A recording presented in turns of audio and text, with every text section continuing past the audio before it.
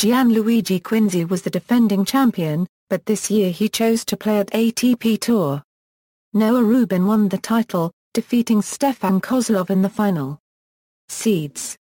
Draw, Key, Finals, Top Half, Section 1, Section 2 Bottom Half, Section 3, Section 4, External Links, Main Draw.